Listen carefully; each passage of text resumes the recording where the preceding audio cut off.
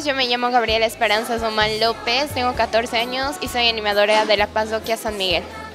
He empezado todo con la Pascua del Niño porque justamente mi que empezó unas dos o tres semanas antes y realmente con los pocos niños que teníamos ido a la Pascua del Niño y realmente se ha logrado mucho, aunque varios niños se van yendo y otros se van quedando,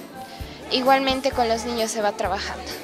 Invitar a los niños más pequeños porque desde pequeños inculcarles hace mejor, porque cuando ya son grandes es como que le pierden el interés y cuando son desde chiquitos y los vas enseñando es mucho mejor.